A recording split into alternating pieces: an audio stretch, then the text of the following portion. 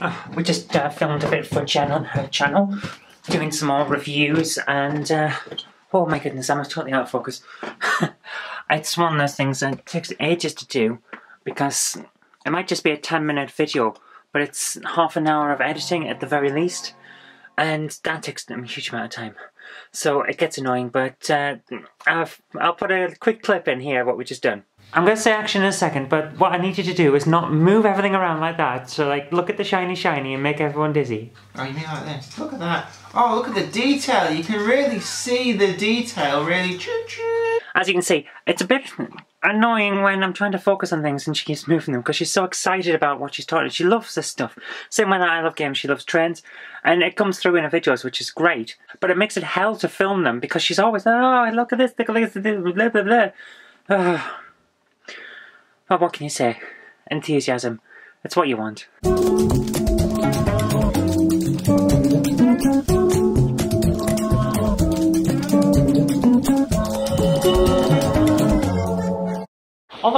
Channels that I use and say it's not going to rain today.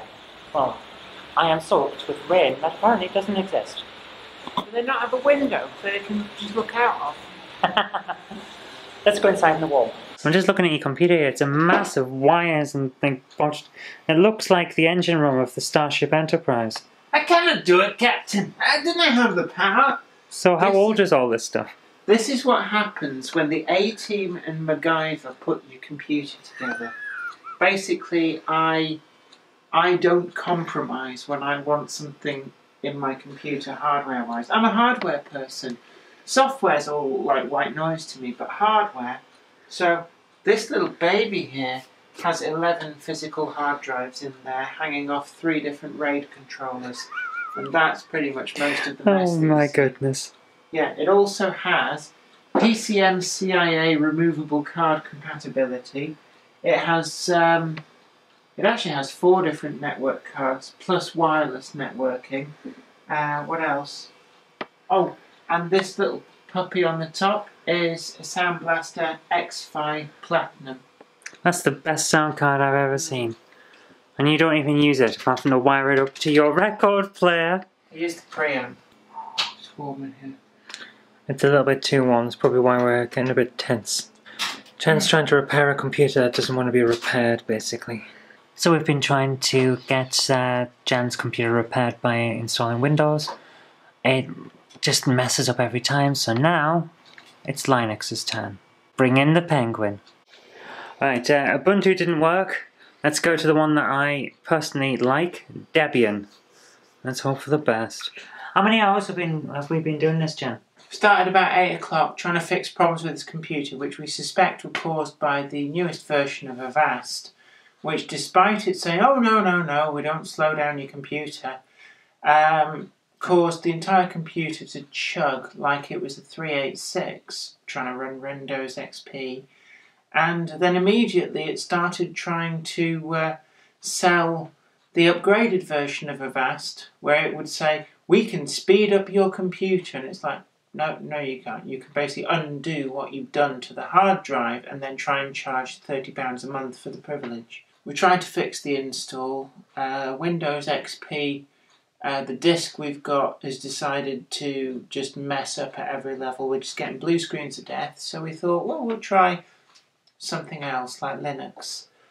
The problem that we had there, of course, is that the Ubuntu install disk isn't bootable. I don't know whether it's just a fault or whether they've actually screwed that up, but it wasn't bootable. So I got out my old copy of Debian, which I know works because I've installed computers off this version before, and it's a really good version it's got to the point now where it's saying, right, we need to partition your hard drive, but the hard drive appears to have been messed up by the corrupted Windows installation. So the the part that was the primary part is now a logical part, and the logical part was the primary part. So we can't do anything without looking at what's on which part of the hard drive to make sure that we're going to deal with the right bit. This is a complete mess. Mm we, we don't know how Windows has managed to do it. It appears to be that in trying to reinstall Windows XP, it's gone, oh, well, you need to format this drive.